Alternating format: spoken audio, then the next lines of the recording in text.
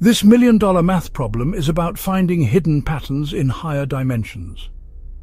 Welcome to the world of the Hodge conjecture, one of mathematics' greatest unsolved mysteries.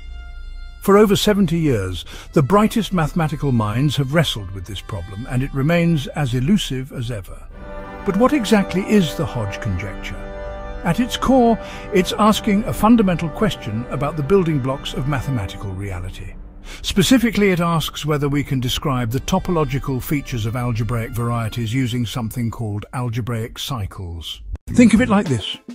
Imagine you're building with Lego blocks.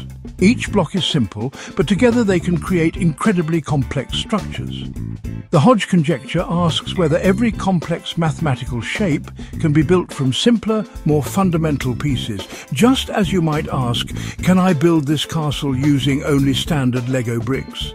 Mathematicians ask, can I build this algebraic variety using only algebraic cycles?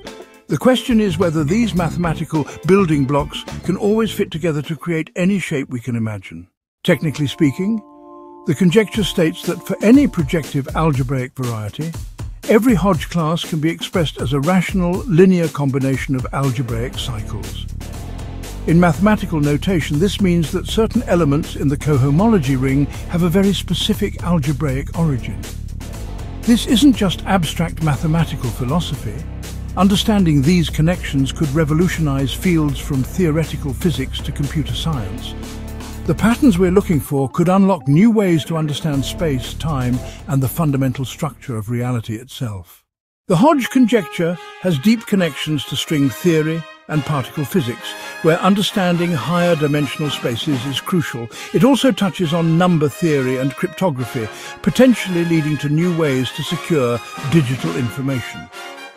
From modelling financial markets to designing more efficient algorithms, the applications could be limitless. So why, after seven decades, does this problem remain unsolved?